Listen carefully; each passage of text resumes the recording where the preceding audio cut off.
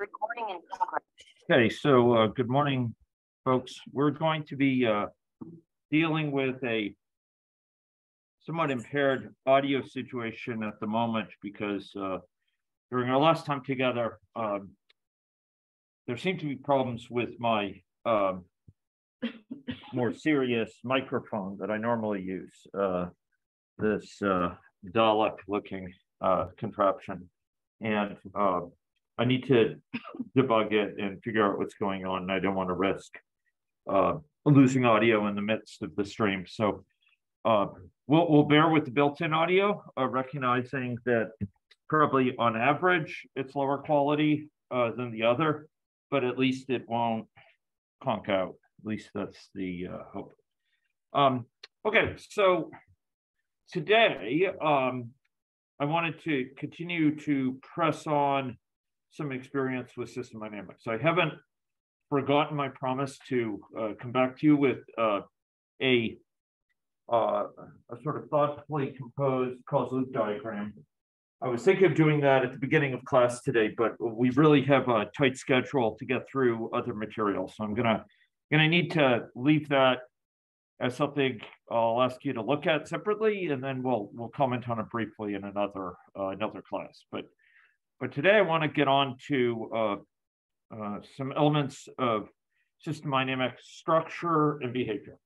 And to that end, I asked people here to review a few videos. Um, and uh, those videos uh, were two for today. Uh, and and then there's some subsequent ones uh, for next week that I provided to you early in hopes that it might allow you to get started on them. Um, and if you did get started on those later videos, it will it'll probably help for understanding some of what you see uh, today and uh, may help connect some concepts. Uh, if you didn't, no worries, but um, reflecting back on today's session may be valuable when you do watch those videos.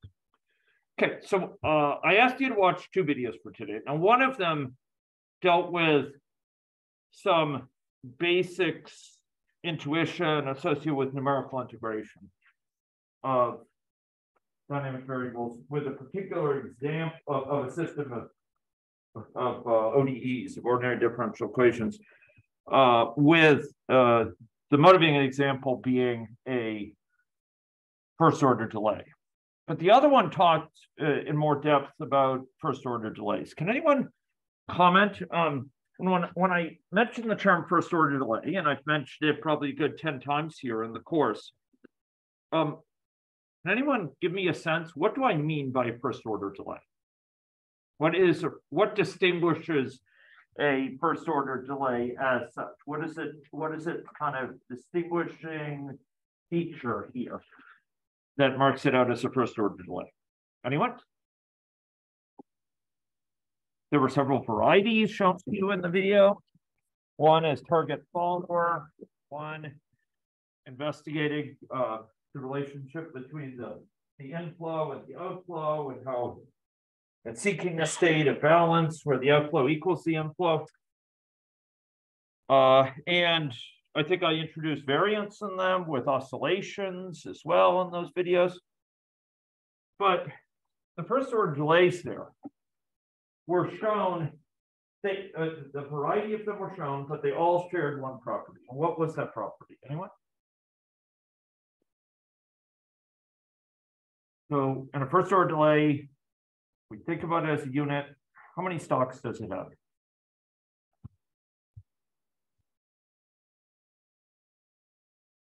Count of stalks? Does it have any stocks? Oh, wow. I'm glad I didn't give a pop quiz today. Um, yes, Matthias.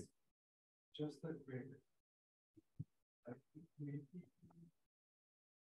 we, we had two videos.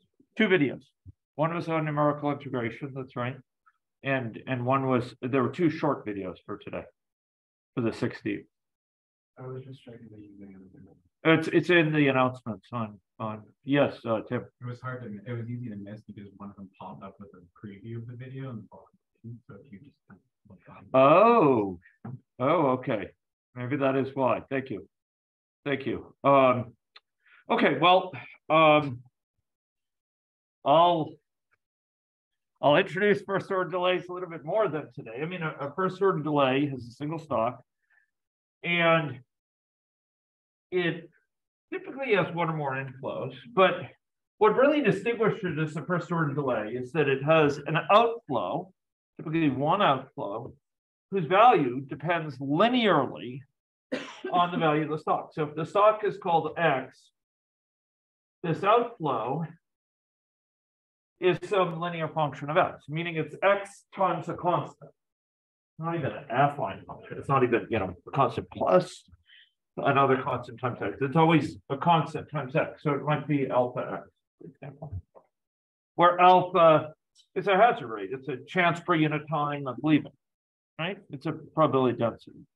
Just like we encountered with state charts in agent-based modeling, where you had a chance per unit time of leaving. There was some small chance, even in a, in a millisecond, that you'd leave. The finer grain time you looked at, the finer the chance was, but went down linearly with that, but but we have some chance of leaving. It's the same construct here. This is not a probability, it's probability density, temporal probability density, chance per unit time to leave. So this might be, for example, 0.01 times X, right? X again, is the value of the stock. So this might be a thousand people who start here. And there's a 1% chance per day. So probably per day, right? Just like we have with the state charts of leaving. So on the first day, approximately 10 people would leave, right? 1,000 times 0.01. 1,000 divided by 100, right? Um, it should be 10 people the first day. And if you play this out, what you'll see is that the number of people in the stock over time will change how? How will it change? This is, so again, the, the number of people leaving per day, the flow out depends linearly on the stock. It's just some constant times the number of the stock. So what will that lead to in terms of dynamics here? Anyone? I see Mattias tracing out a, a curve in space. What sort of curve is it? It's an exponential. We've seen this before on this very board. And what's the, so, so if, if you started with the number of people in X at time zero, call it X of zero, the number of people in there at time t would go down as what? E to the minus alpha times t. This is our old friend, right? Okay, look, even if it's not your friend, at least it's your enemy. Like you should recognize this, right? right? I hope you recognize that before. Whether it's your friend or enemy is your business, not mine. But um, but uh, this should be familiar because it's the same mathematics governing the probability of staying in what? That an agent stays in a state when you have a rate transition out, rate transition alpha, right? So that was one of the faces of stock of, of uh, first order delays. All first order delays share this property. The outflow is a linear function of the inflow. Now, another face of it, another kind of perspective to view it from would actually not be to view it as a constant times as this constant times x, but to view it instead as instead of x times instead of x times some alpha here, you could view it as having a, a mean time to leave tau. And so the formula for this before was alpha x. Now it's x what? This is a mean time to leave x. So I'm sorry, let me let me make it clear. Before when we had alpha here, just like this, the formula for this is alpha x. Right? I, I written up there. But that's the formula. That's the number of people per unit time you're leaving the stock, for example. Right? A thousand people at, at, at the initial time, 0.01 chance for each of them, ten people per day leaving. 0.01 chance per day, right? This is a unit one over time, this one here is 0.01. This is unit, say, people, for example. And so the number of people per day that are leaving is X times this, it'll be people per unit time. That's what flows need, if it's a flow out of a stock that is dimension A, the flow will have dimension A over time. Flows in will have dimension A over time, flows out will have dimension A over time. So this is one form of, of first order delay, so we just talked about, right? And the number of people here will go down as this. Another form of first order delay is this is tau. Mean time. So now this is a mean time to leave. Mean time to leave, and what's the formula now? Divided by tau. And you can convert alpha into tau by, guess what? Alpha equals one over tau. So whether you phrase it as alpha times x or you phrase it as x times one over tau, in other words, x over tau, those are two different ways of saying the same thing. They're two synonyms. They're mathematically identical. But sometimes we prefer to talk, prefer to think about it. It's convenient to think about it as a mean time until you leave. At other times, it's convenient to think about it as a rate per day or rate per unit time of leaving. Hmm? They're, they're just two sides of the same concept. And the mean is one over the rate, and the rate is one over the mean. So you could pick your way of describing it. Hmm? These are two different phrasings of a first order delay, okay, at its most basic level. Now, I do want you to watch that video because there's kind of two others, which are just these two shown with another broad phrasing where we think of this as a target follower. Here we're, I'll ask you, with this phrasing of first order delay here, this here phrasing right on the board there. This, if we have a flow in, call it lowercase i, people per day, say. Let's suppose the flow in is 100 people per day. And let's suppose that we have a thousand people on the stock initially. So and suppose alpha is 0.01 or, or equally tau is 100, those are equivalent statements. Um, then 10 people per day will be leaving, right? It'll be a thousand divided by by uh by 100, right? So if we have if alpha equals 0.01, in other words, i.e. equivalently, tau equals what? And alpha 0.01 implies a tau of what? 100, 1 over 0.01. If that's the case, we start with a thousand people here. The number, the people per unit time leaving, people per day, say leaving is, is going to be a thousand divided by a hundred, right? Or ten people per day, or a thousand times 0.01, 10 people per day, right? It's the same thing. I hope you see this. Okay. So if we have that situation, and suppose we have a hundred people coming in per day, is the value of the stock going to rise or fall or stay the same? If a hundred people per day is coming in and 10 are leaving per day. Is the value of the stock going to rise or fall? Yes, there's a yes. Is that? Yeah. Yes. It'll rise thousand, ten thousand. Uh, good. And why ten thousand? You got it, Ben. So this this rendition, it's easy to think about what what this framing of a first order delay wants is for the inflow to equal the outflow. When I say it wants it, it yearns for it. It's because that's when it will be in balance. That's when the value of the stock will no longer be going up. It will no longer be going down. It will be staying the same. it's in a happy state. It doesn't change, right? Inflow equals outflow. If inflow is greater than outflow, what will happen? It will decrease. If the inflow is greater than the outflow, it will increase, right? If, if the water is coming in your bathtub faster than it's leaving, the bathtub is going to go up. If the outflow is greater than the inflow, what's going to happen to the value of the stock?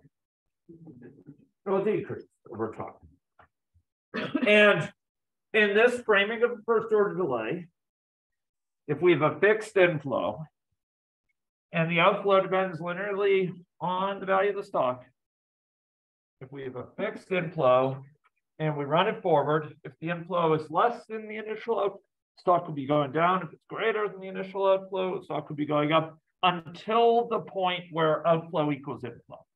Do people get that point?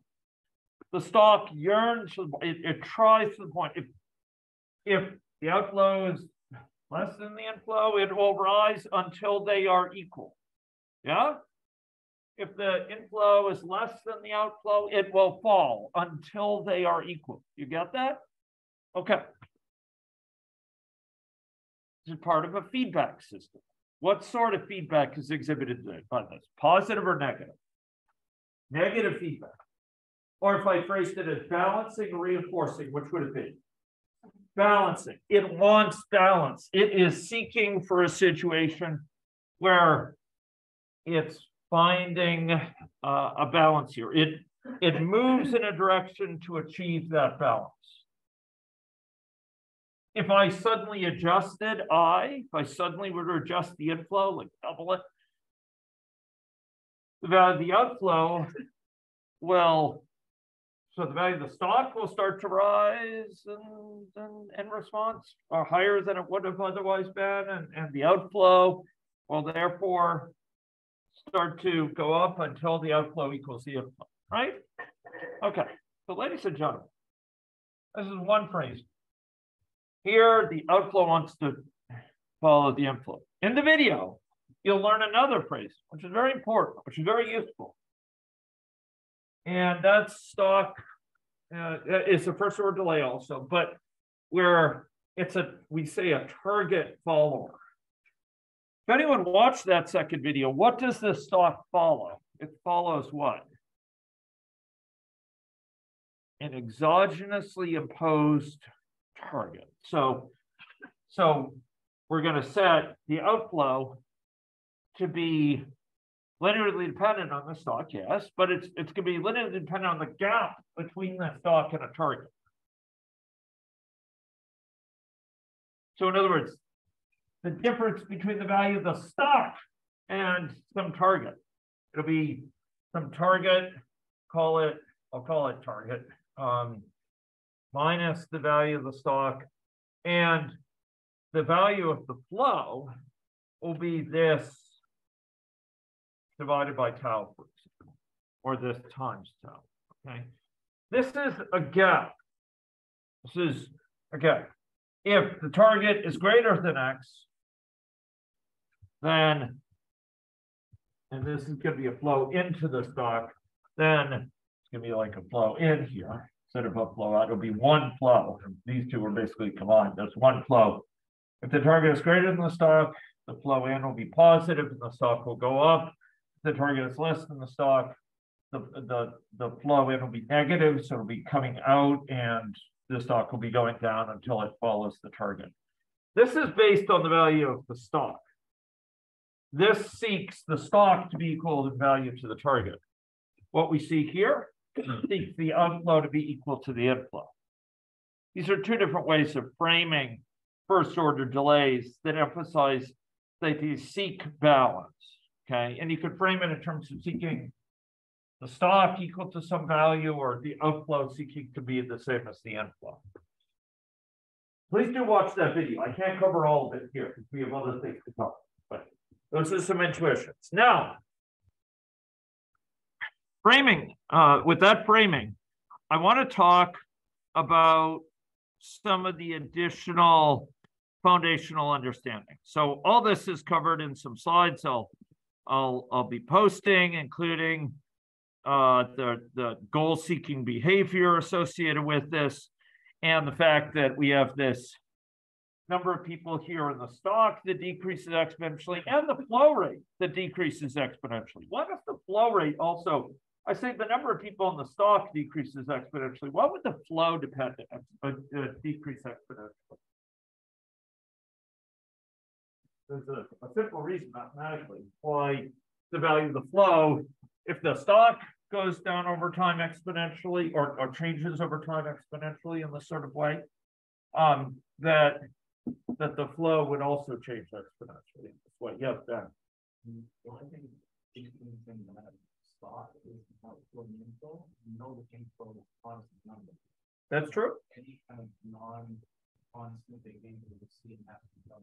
Okay, yeah, so that's one way of reasoning, but, but look, if the stock is going, is changing exponentially towards a new equilibrium, could be going down until uh, it's um, until it reaches some equilibrium where the outflow will equal the inflow, or it could be going up towards some equilibrium where the inflow equals the outflow, but but if the stock is doing that, you're saying, look, the inflow is fixed. So the only thing that could be driving this is is a similar change in outflow. That's true, but there's even even a more pithy way to say it. Well, look, if the value of the stock is changing exponentially like this, the value of the flow is just what? How does the value of the flow depend on the value of the stock? Just the uh, stock times a constant or divided by a constant. I mean, you know, divided by a constant is times constant, right? It's times one over whatever you divide it by.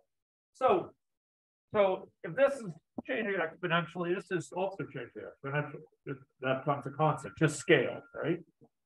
Um, so, so ladies and gentlemen, um, here we have this, uh, the outflow and the inflow both change in this sort of exponential way. Um, okay, so this is a linear system. This can be great important for what we're going to be talking about next week and what we're even going to see a little bit today if.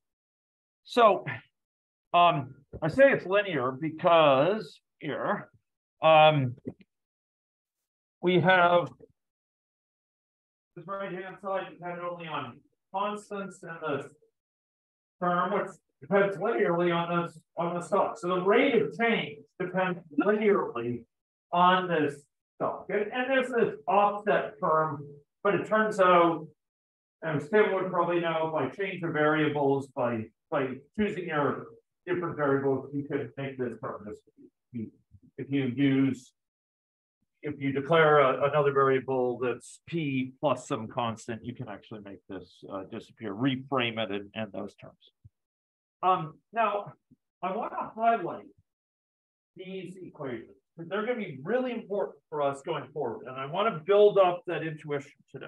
Okay, um, where these things came from. So, so these are differential equations.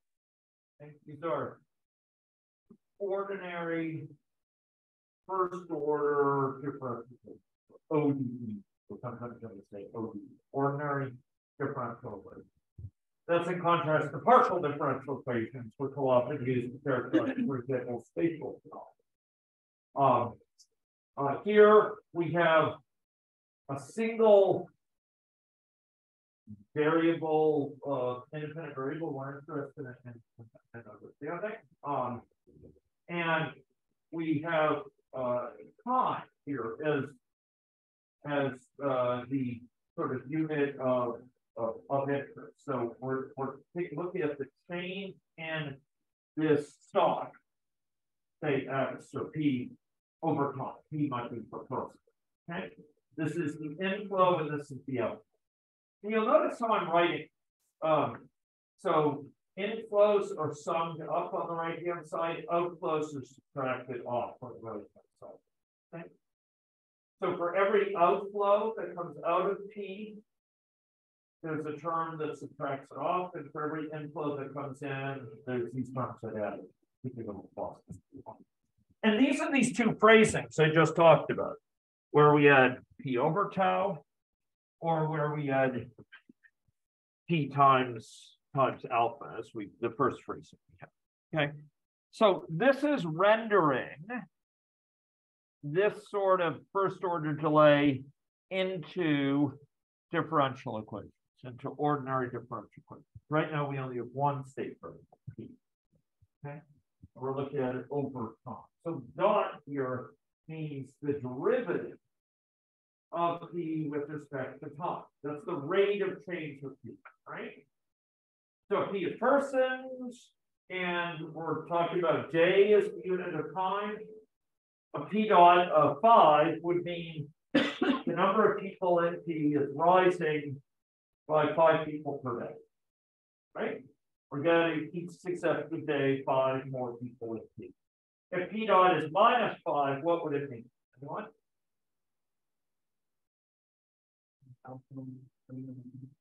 That's true, but if, if we just think about this, if P dot is minus five, what would it mean that P is doing over time? Decreasing, if it's minus five, it's decreasing by five people per day.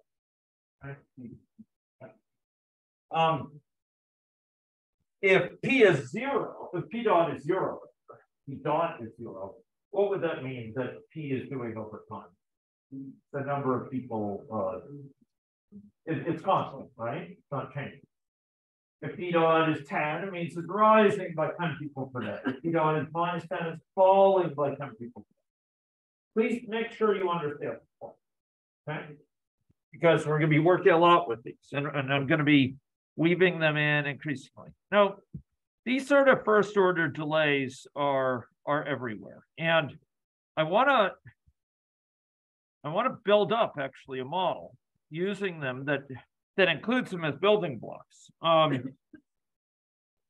and you'll be seeing a lot of these models to understand the mathematics of computation. Um, and I'm going to expect you to be able to quite fluidly translate from a model like this into its differential equation. We're mapping a syntax here, which is pretty straightforward, into a semantic domain, which is differential equation. Now, the grammar of these stock and flow models is uh, is something I'm not talking a lot about, but I, I do just want to talk about it a little.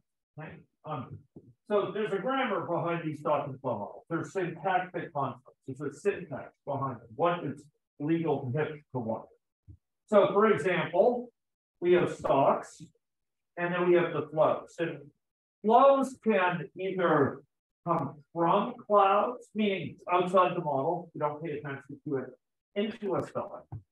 They can lead from a stock into a cloud, or they can go from a stock to another stock. So this flow goes from this stock to this stock, this flow comes from the cloud into a stock, and a flow could go from a into a cloud. For example, if there were deaths from infected, they would go from infective into a cloud. Cloud just means it's outside the stock. Okay? That sort of rules from hitching up flows to stock. Now, beyond that, we're going to have a couple other types of constructs. And there's there are parameters, which are constant. Okay. And they don't have any arrows coming into them. They have no arrows that are incoming, but they can have arrows indicating dependency. So broadly, we have flows, which are one type of, of uh, connection here, and then we have these arrows, which are informational uh, connections. Sometimes we think of flows as being what are called material flows, or material connections. Things flow down them. And then we think of the connections uh, or the links, as they're sometimes called, as being informational in character. And importantly, these links are instantaneous. Okay, so when we have a link, for example, from average duration of effects to this flow, it means this flow depends instantaneously on it. Somehow we were to magically change the duration of effects by being able to administer a really powerful new drug that helps people recover faster. That would change the number of people who are recovering per unit time. Immediately. Or uh, and and so these are are instantaneous population size, for example, here is shown as being an instantaneous sum of susceptible infected recovery. That construct is called a dynamic variable or more commonly auxiliary variable. Okay? And you'll notice that it it's the sum of this susceptible, infective, and recovered. It depends instantaneously on these these values. So if susceptibles were to magically, you know, become twice its previous value, it would be immediately reflected in population size. So there'll be a formula for population size, which in this case is just susceptible plus infected plus. recovered. Similarly, the fractional prevalence, the fraction of the people that are infected depends instantaneously on susceptible, infected, and recovered. Uh, and and you can tell me, what would the formula be for fractional prevalence? Anyone? What's the formula? Yeah, divided by population. So we see fractional prevalence depends on population size. Which is just shorthand for susceptible, infected, and recovered, right? Uh, the sum of those. But but fractional prevalence can be expressed as infected divided by population. So these indicate informational dependence. These these connections. Um, and we build up these diagrams out of those pieces. These auxiliary variables can depend on constants, they can depend on stocks, they can even depend on flows, they can depend on each other, like fractional prevalence depends on population size, as long as there's no loop. Because you can't have A depending on B instantaneously and B depending on A. You can have a loop in the model as a whole, for example, effective the population size, the fractional prevalence, the incidence, the effect, there's a there's a loop But it's through a stock and flow. That's fine. The stocks capture the state of the system. So the system changes over time in a way that reflects the feedback. But you cannot have instantaneous things where you say, you know, A is twice B and B is three times A or something like that. Um, you, you cannot have those sort of loops among dynamic auxiliary. So I'm talking here about the kind of syntax, the grammar of these things, how you can arrange them, how they can be stuck together. Um, but the deeper thing um, that I want you to also carry around. So, so that's significant. It turns out there's all mathematics for that that can be formalized and, and actually important insights can come. But I want to draw your attention now to the semantic, the most common semantics applied with this, which is differential equations. And um, and I want you to to understand how to take, and I'm gonna put this in the back so I can move this thing here uh, to the appropriate place. Okay, now, now we're in trouble. Um, uh, but I want to make sure that you can understand how to create the stocks, the, the, excuse me, the differential equations from this. Um, every year, we uh, have some need for students to to sort of turn this sort of stock and flow model into these equations. You'll be asked for that on assignments, and you'll be asked for this on exam or quizzes. You should be really comfortable Let's unpack. So if we have a model like this.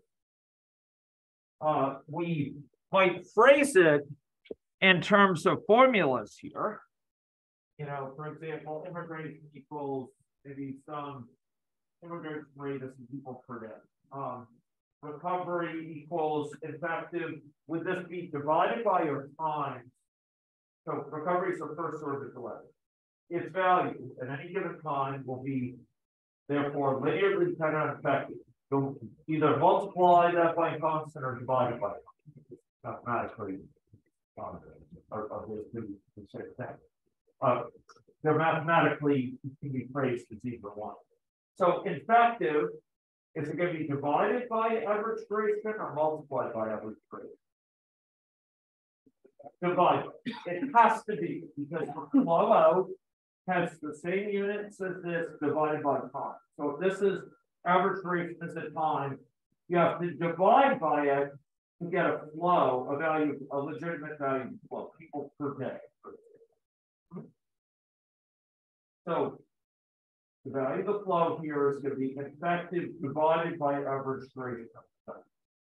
And what we're gonna see is when we transliterate this into the semantic domain, into the domain here, we're gonna see it come out here. So mu is the value of this parameter. And so this flow here is I over mu. It's gonna be flowing from I into R. So why is there a minus sign? I want to make sure people are solid. Why is there a minus sign? Because then it, it leaves it, yeah, it departs it. It's leaving from, it, right? So if there were five people per day getting recovered, the rate of change of number of people who are infected at a given time. Whether you know, going up in people per day or, or down, you know, is it rising or falling? You're gonna be subtracting off. So suppose, suppose no one was getting sick, all the other people recovered. Um, then. If we had a thousand people sick and five people per day were, were recovering. It would go, the rate of change of I would be minus five. I dot would be minus five, would be, it's dropping by five people per day, since they're recovering. Hmm? That's why there's a minus. sign. Why is there a implicitly a plus sign in front of, in front of R? If there are five people per day recovering, that same flow flows into R. So suppose there's nobody who starts, it, uh, nobody who starts recovering. And then there's five people per day that are coming in. The rate of change of the number of people that are recovered will be what? Five people per day, right? They're coming in. So the first day, they'll go from zero to five. The second day, will go from five to ten. Third day, will go from ten, to- right? The flow. So you'll notice that these flows, if they flow from a stock to a stock, they appear in two places, right? They kind of are leaving the stored stock and coming in with the same formula, but with a minus stock, right? That should make sense, hopefully. This one is pulling down the, you know, the rate of increase of I, right? Um, and it's, it's, it's flowing directly into R, so it's directly your determinant of change in R. Are people okay with that? Similarly, okay, gosh, I. This should actually be, uh, shown, this is, the way this is shown is, it's, uh. So this should be just capital M here. Um, I phrased it as, some constant, some rate constant times the total population. Which will be like the verse or something like that, but really we could say that because, uh. Be most clear, and I don't know if I can copy it down here to eliminate that, that confusion, um. Anyway, um, you can just imagine this, uh, omega n. It's, it's, yeah. Now, this term here is gonna be the real focus of a lot of our discussion. Uh, and this term reflects the unpacking of, or the collapsing down of several layers of this reasoning. That'll be of great value in assignment three and for understanding mathematics. Okay, um, you'll notice that this says there's no intermediate variables here. It doesn't say total population. It doesn't say fractional prevalence. Here, when we look at it, we prefer, kind of for software engineering reasons, to break out these intermediate values, give them names, give them clear intentions behind them, communicate their meaning through good names. But when we express it mathematically, we collapse it all down. Let me tell you what each of these are. So we're going to call context for susceptible per day, C. We're gonna call first context risk of infection beta, okay? Um, and fractional prevalence, as Tony said, is going to be infective, we'll call it I, over susceptible plus affected plus recovered, which is, what is this? This is the total population, right? So we could call this I over our total population. Right, um, and the total population, what is its formula going to be? Well, we just wrote it down there, I just erased it, what is it? S plus I plus O. Right. The entire state of the population is summarized as infected, recovered, and infected, uh, susceptible recovery. Notice there's no flow, I mean, the flows are just changing people from here to there. If you were to freeze this model at any one time, shut down your computer, there's only three numbers you have to write down. To restart it, what are those three numbers? The number of people susceptible, recovered. that's all you have to write down. For an agent-based model, you have to write down much bigger thing, right? If you stop that first agent-based model we worked with, with that with those waves of infection, you'd have to write down, in principle, the state of every agent within that model to restart it. Here, you just have to write down those three numbers. From that, you can calculate the flows, you can calculate the median variables, and proceed. Okay, so we are going to routinely go back and forth between models like this, which are phrased for human consumption, and models like this, which are less software engineering focused and more mathematically focused, and where we can apply mathematical tools to analyze. I want to hit one final moment before we dive into building up a little model of this sort. A model of this infectious disease sort, which will be very relevant to your science So what I want to ask you is, we talked about when uh, a model like this is in balance.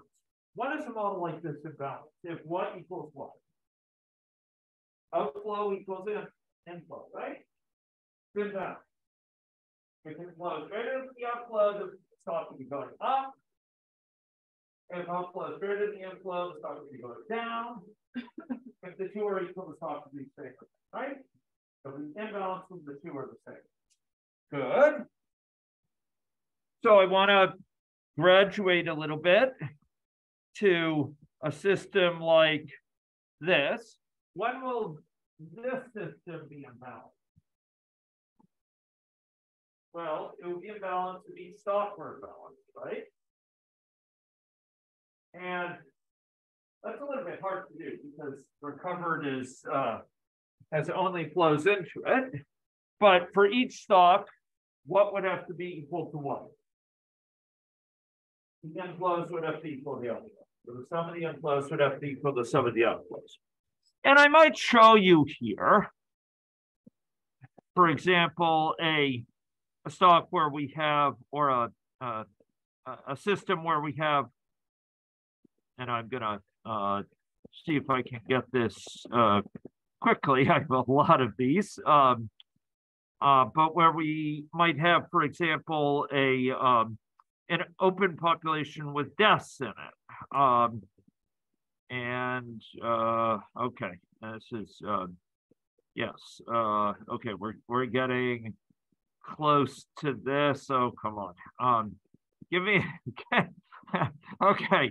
Um, we're going places, ladies and gentlemen. Okay, here we have a an open population, but it's not shown. Okay, great. Um, uh, okay, come on. Um, show me a show me a model where where it's uh, really there. We go. Okay, good. So how would the system be about? Um, uh, which is uh, which is uh, traffic flow. Um, okay. Uh, oh, come on. Um, I've, I've got to have a uh, a nice cyclic one like the one we'll we'll build up here. Um, my gosh, I, I don't know why there's not a good picture of it. I'll draw it on the board. Okay, good. Here we have SIR. We have flows in from S to I, from I to R, and we have a waning flow here. Um, so, so let's suppose we call this flow I, uh, from S to I, suppose we call the flow from I to R, lowercase r for recovery. Lowercase i is, is for infection, and suppose we call this flow from R to S waning, or W. Under what conditions will this be in balance? Will its differential equations be in balance? Anyone? Yes, Matthew. Good, all the flows are equal. Um, or if we focus pointwise on each star, the, in- the sum of the inflows will equal the sum of the outflows. So here we would need, for S to be in balance, we would need what to equal what? The inflows are what? W, and the outflows are what? I. So we would need W to equal I, right? Um, so we would need I equals W for, for one thing. We would also need what? For, for the stock capital I, we would need what? What would we would need there for equivalent? I equals R, right? Lower, lowercase r, lowercase i equals lowercase r. And then for uh the stock capital R, what would we need? We would need W equals R, lowercase r, right? Those are the things we would need, or, and, and if these were the case, I could say S dot equals what? The rate of change, if this is the case, the rate of change of S will be what? Will be, be, well, will be a constant, but it'll be a very special constant. If, if the stock, if the inflows for the stock are equal to the outflows, the rate of change of the stock will be zero. It'll be flat. Remember, if S dot is, next if S dot is, we're five, for example, and we have units of persons and and time unit of day, then it'll be rising at ten per day. If it's minus five, it'll be falling at ten per day. A value of zero means it's in balance.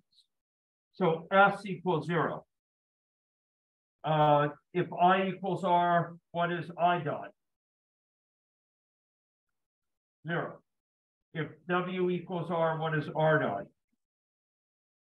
Zero. The rate of change of S is zero, is what this S dot equals zero. Right? The rate of change, it's not going up, it's not going down. It's staying the same. It's imbalance, it stays at a fixed value. And all of these have to be true for this whole system to be in balance. Okay? So when we have a system where there's many sides, we ask about when is it in balance?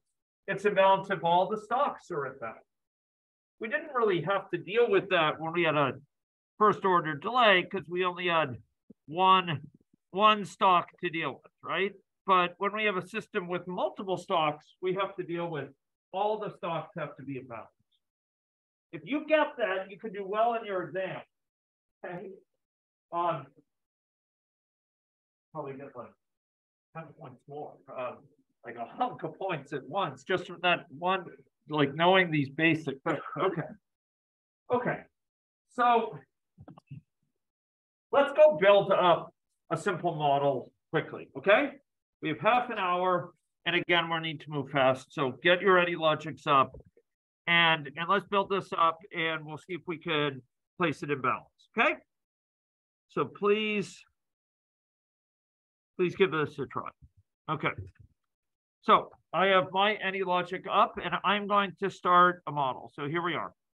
Um, I'm going to do new model and this will be called yes, Wade. Yeah. Uh, it's going to be SIRS. Maybe I'll call it first SIRS um, well, first SIRS, version one. Okay. Um, And its model time unit will be days.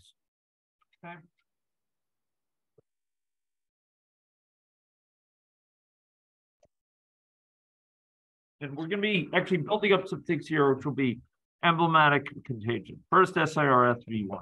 There we go. Okay. Now, um, what we're going to do is is build up a simple one, a simple model composed of susceptible, infected, recovered, and where there are, it, it's illustrated up here on the board, where there are, there's a possibility of waning immunity.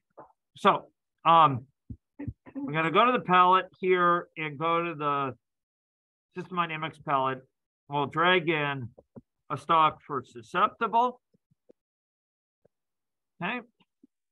We'll drag in another stock for, and you notice I'm I'm putting it sort of three three of these underlying squares uh, away in hopes that they'll be the size of a flow for infectives, infective, and another one for here, recover. Now, one thing that will, I should also strike you a bit of metalinguistic abstraction uh, issues here. When we build up stocks and flow diagrams, this grammar, this, this syntax in stock and flow diagram, um, uh, is something we'll be um, staying within. And the specification of these models will be entirely declarative. We'll be specifying what we want and allow the system to uh, to take. Okay, I should have put it four, four, um, four squares away. Um, so uh, I'm gonna move this over there, and we'll we'll artfully um, place this one far away. So we're gonna put two flows between those, and then we're going to uh, maybe we'll leave it like that, and we'll come back to the other flow. Okay, so uh, let's go put in some uh, initial information. So when we have stocks, what do we have to specify first off? Do we have to specify equations or what? Sorry?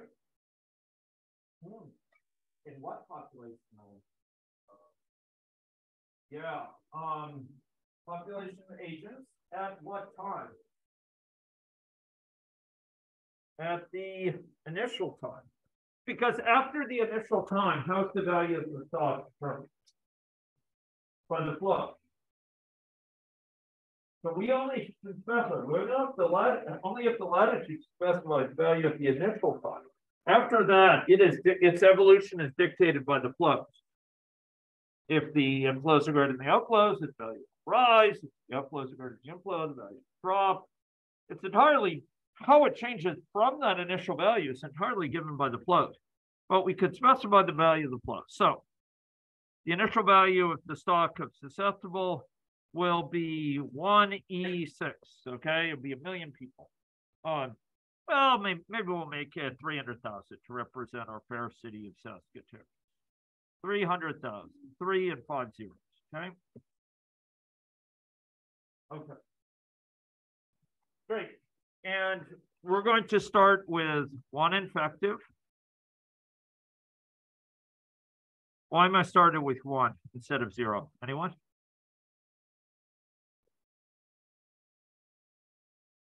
Yeah, it needs to spread from somebody, right? Good, Ellie. That's exactly right. And recovered will be zero. Okay? Great. Okay, so we have these three stocks. We specified their initial value. After that, it will evolve totally uh, as dictated by the flows. We have to attempt to the flows.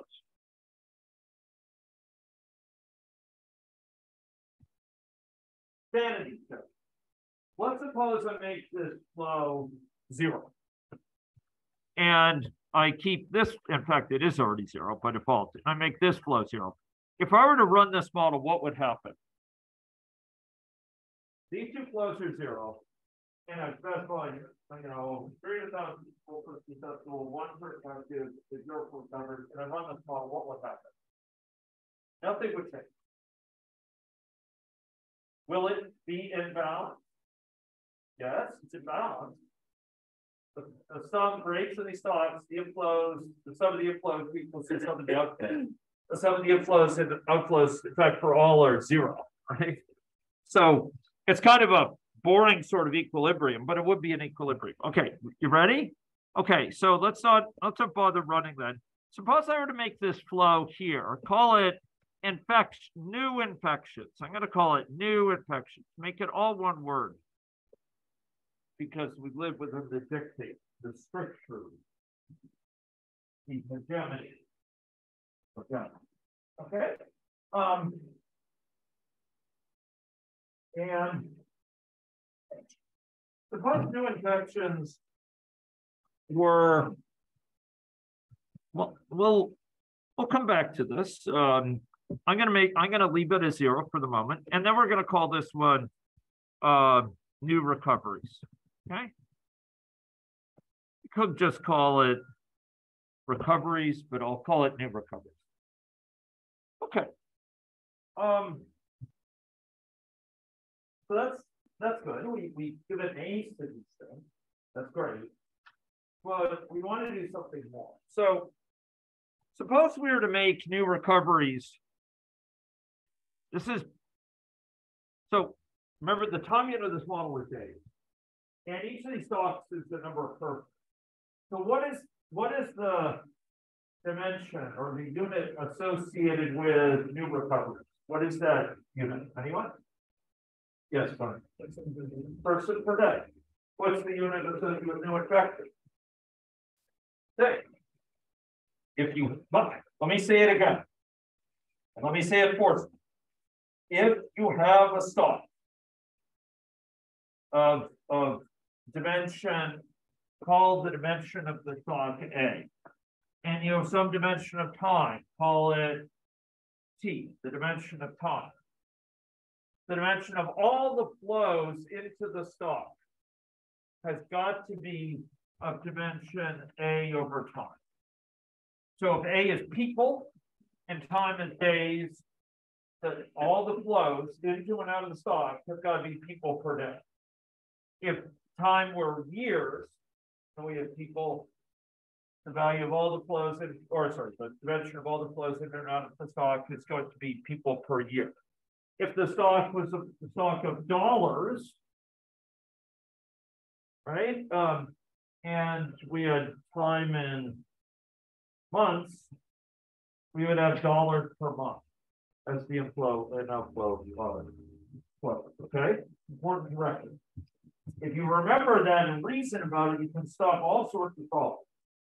Okay, so suppose we were to take this and have new recoveries be one. What does one mean here? Anyone? Yeah, or one, one. There's no probability, but one person per day. So what would happen if we made this one? What would happen? One person per day will be recovered. And how would the number of people that are infected change? Ri- It starts at one, and so what is it gonna do? It, it, by day one, what is it gonna be? After one day, what will it be? It'll be zero, and then it will go negative, right? So obviously, that's not a good thing, right? It's non-physical. We can't have negative people. And in general, we have some balancing loop that's gonna limit it.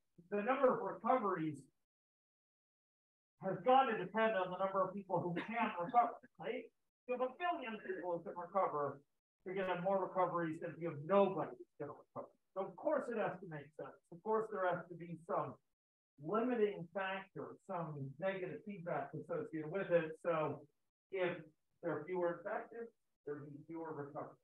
Okay? Um, so let's put that in place. Let's have a, put in place a mean, put in a, a formula. Mean time until, or call it mean time infected. Okay, I, I put it in a parameter, dragged it in. Remember parameters are assumptions and they communicate those assumptions. And its value, ladies and gentlemen, will be ten. What does ten mean in this model? Day, one day. Okay. And we need to hitch it up to the thing that depends on it, which would be here, new recoveries, that flow. What else does new recoveries have to depend on? We just said. It, it needs to depend on the number of people who are infected. If there ain't nobody to, to recover, there should be nobody recovered. There's a billion people to recover, there'll be more people recover. So it's gotta depend, right? Got it, like the number of new recoveries has to depend on any physical system on the planet. Okay, so this is a what? Guess what this is going to be? A begins with F. It has three words in it. That second word begins with O. The last word begins with D. The first word begins with F. The first word ends with T. The last word ends with S. Then it's a Y, it's the second class.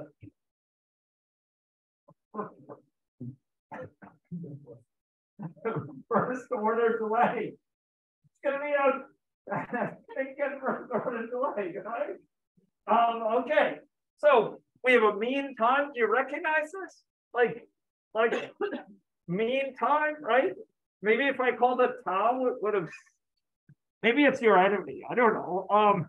So, uh, but it's my friend. Okay. So, what's the formula going to be? If this is a first order delay, what is what's the formula going to be? Infective what? Yes, I, I we're stand on the cusp of greatness. And, and so how do I finish it? So infective, so it depends on if, divide. Okay, good. Every exam, every exam, I get sta students standing on the cusp of greatness. And they run away in the opposite direction by writing time. Do not write time here.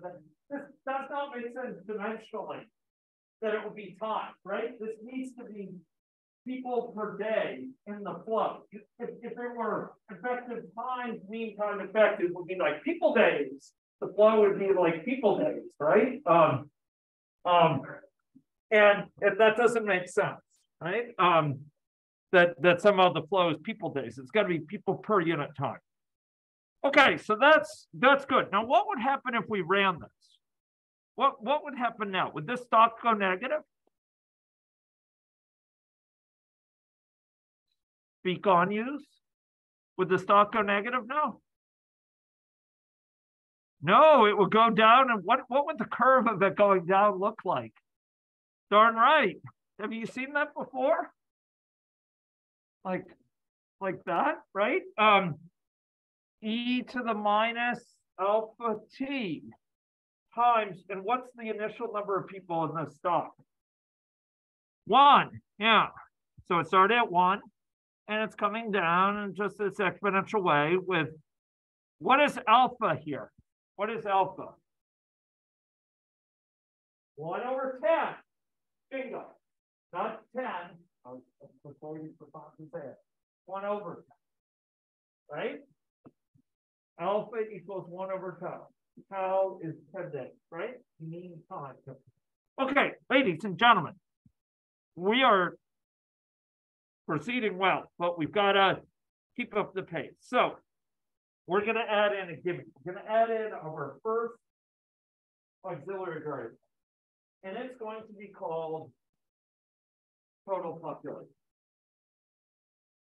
if you looked, I just gave you its formula too.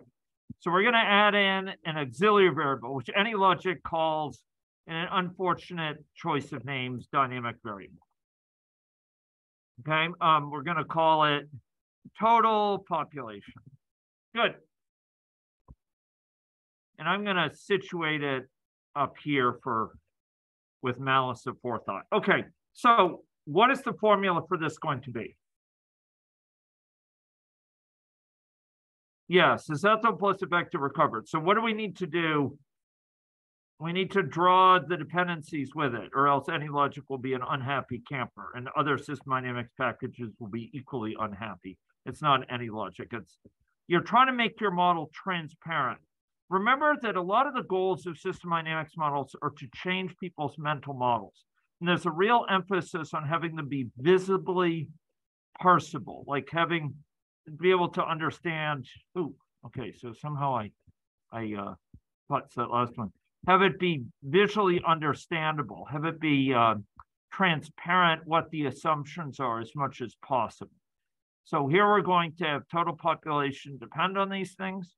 And this will be, as Matthias said, uh, susceptible, susceptible plus, uh-oh, uh-oh, plus infective, oops, come on, plus infective plus recovered, right? Oh my gosh, what am I doing? Okay, make sure it builds and is a happy camper. Okay. Okay, good. That's an instantaneous function of susceptible infective and recovered. Okay. Um, good. Now, ladies and gentlemen, we are going to put in an additional component, which is going to be the fractional prevalence. And I'm going to drag in, this too will be a auxiliary variable. So I'll say fractional prevalence. And I defined that earlier. Does anyone remember what it means?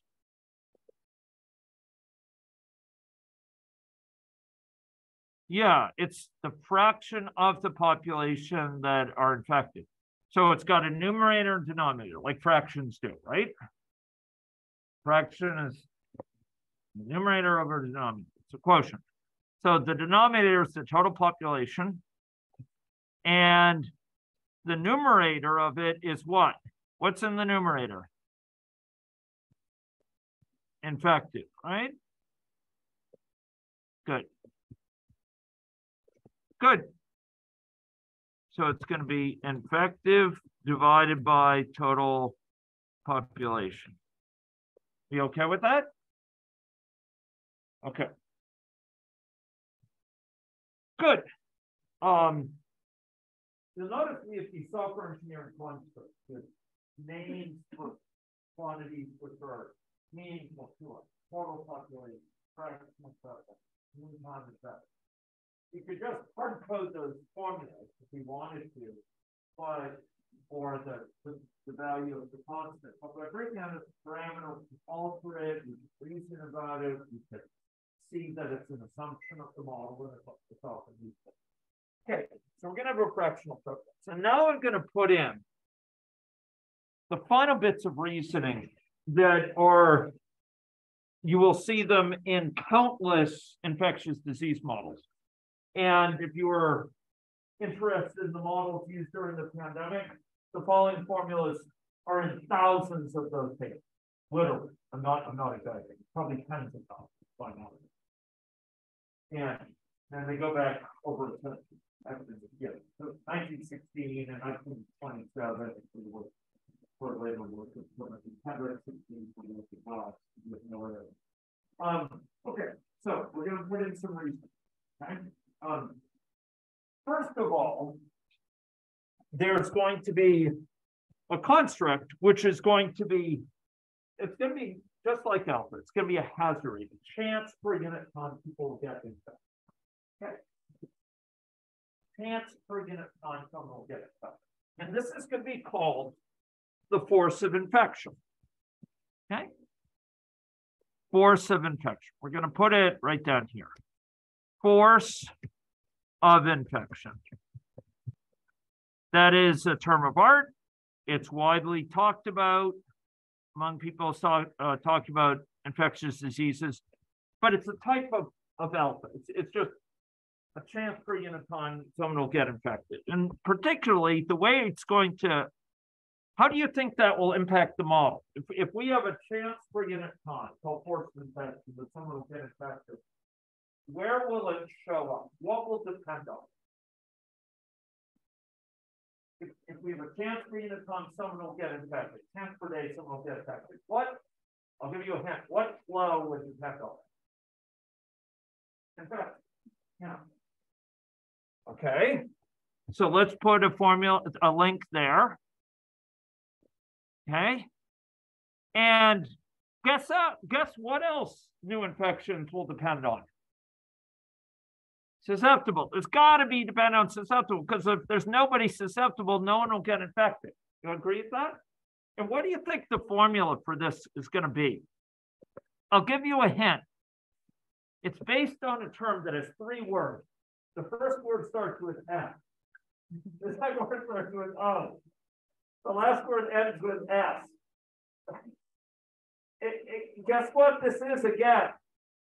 Yeah, it's a first order delay. It's your old enemy. Well, okay, Frank. Okay. Um, so ladies and gentlemen, um, here, here again, you've you've got it again. So what's the formula for this going to be? Remember, the force of infection is a chance per unit time, a probability per unit time, a hazard rate. It operates just like alpha. So what's the formula going to be? Susceptible times the force of infection. Or force infection times susceptible. Yeah, we could we could phrase it either way. Okay. So this is a first order delay, folks. Except now it's not a constant. It's could be changed. Come to that. Normally this is alpha is a constant. I said it operates like alpha. You can think of it at a given time, it's confusing. Just like alpha, but it can change all the time. And guess what force of infection will depend on? What other thing nearby it will it depend on? Speak youths uh, as, as, as a Greek chorus. Yes, well, it'll, yes, it will depend on infective through what? Yeah, the fractional prevalence. So it's got to depend on fractional prevalence. If nobody in the population is infected, do you think any infections will occur? Do you think anyone will get affected if there's no one out there that's infected? No, it takes two to tango. There needs to be infected for someone to get infected. And there also needs to be what? Begins with S. Susceptible. This is why it's nonlinear. It doesn't depend just on one or just on the other. It depends on the combination. Having both. You have to have both in order for someone to get infected. Okay. Um, and we'll see that nonlinearity come up perhaps before the end of this very session if we move quickly. Okay. Okay, so force of infection, it's going to depend on force of infection. But um, this, oh, sorry, force of infection is going to depend on fractional prevalence in me. But we're going to need two other pieces to complete the reasoning. Okay. Ladies and gentlemen, I'm going to add in a parameter that's going to be called contacts per person per day. Okay. So it's number of persons per person per day will. Um, for each person, they need a certain number of persons per day. Um, and we're going to give it a value of 10. Its actual units are going to be one of her days, sort of how frequently they meet they meet people. Um, 10 will mean they meet on average 10 people. Each person meets ten people per day. Person per person per day. So the Tanya is, is, is dimension will be one of her days. Okay, so how many people do you meet per day? Yeah. Okay. Um, and next, so that's one of the, um, I'm sorry, make that 15. I said 10, but make it I'm sorry, make it 20, make it 20. It'll just be easier for my explanation in a moment. 20. Okay, next, we're going to add in a parameter that's going to be called probability of transmission. And I'm going to say per discordant contact, okay? Um, uh, I'm, I'm trying to keep it a bit shorter than it might otherwise be, but be explanatory. What this is, this is a probability if, if a susceptible meets an, an infected meets a susceptible, what's the chance for contact with them that they will transmit the infection, okay? Um, and that value is going to be here um, 0.1, okay? Zero point one. There we go.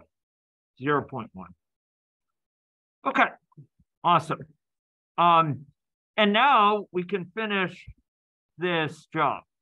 Okay, um, we can go take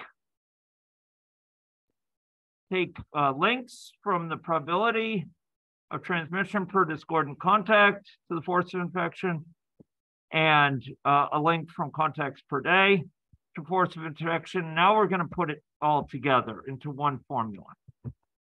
And I'm going to tell you what this formula is, and I want you to, to watch it. Remember, the force of infection is it's kind of like serving like alpha. It's a chance per day that a susceptible will get infected. Mark my word. Did you hear that? The force of infection is the chance per day a susceptible will get infected. Right? Um, just like alpha is a chance per day you'll leave here. Okay. Okay. So the fourth, the, the formula for it will be contacts per. Remember that autocomplete is your friend too. So you can do control space or on on Mac Wade can say of twenty voice what option state. Yeah. And that's it's important. So um option space, ladies and gentlemen. Um we'll we'll fill it out. So imagine people have contact with 20 people per day. Now imagine that 50% of them say were infected. Imagine 50% of the whole population were infected, were infected. On average, how many infected people were there per day? Think of susceptible means 20 people total. And imagine the population is half infected. How many people are they going to meet on average per day who are infected? 10. 20, that's the total people they're going to meet per day times the 50%, right? Of, of them that are likely to be infected. Hmm? So it's going to be contacts per person per day times, guess what? Where can we find the fraction of the population that's infected? Fractional prevalence. There we go. And now for each, and so that's the number of people they meet per day. The contacts per day times fractional prevalence, is the number of people they meet per day who are infected. We're going to say each of those people that eat per day that are infected has a certain probability of transmitting infection to them. And where is that probability of transmitting infection? We already created a, a parameter for it, this probability of transmission per discordant contact. So ladies and gentlemen, that is the key formula that drives infectious disease models worldwide. And certainly there are tens of thousands at least of models in print, public peer reviewed literature that use that, that form. Okay. So that, so we have, they have, uh, say 20 contacts per day with anyone. Of them, this number of contacts times fractional prevalence, so the number of contacts per day they have with infectious people, and each of those people, those infectious people confers this probability. Ladies and gentlemen, you should be able to build your model and you should be able to run your model, no less. And if you do so, you will see the number of people that are infective rise in simulation of an outbreak. And now you will see it decline. During this period, it was spreading. There's a positive feedback loop among new infections leading to more infectives, leading to higher fractional prevalence, leading to higher fraction, higher uh, force of infection. In other words, high risk susceptibles will get infected. And this positive feedback initially, it rises until the number of susceptibles can't sustain it. And then it starts dropping down and it's limited by the number of recoveries. And it's dropping down towards, towards zero. Okay, so that's our first little model there. Uh, we're out of time. I'm sorry. Yes, I can post a model. I'll, I'll do that right right now. Okay. I think I'll ask you to add in a waning of immunity. We've just seen how it spread. That rise to a peak in the first outbreak and along the decline in the question will be, how does that change when people can lose immunity? And that's what a lot of people, okay? Um, and, uh, we'll talk about it next time.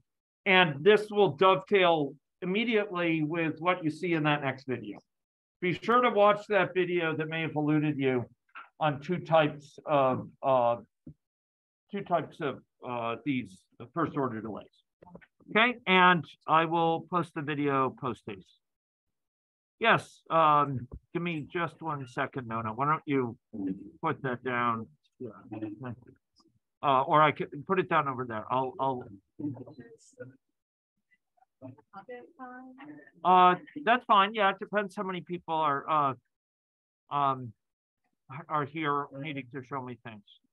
Thank you. Okay, thank you. Yep, take care there. I'm gonna.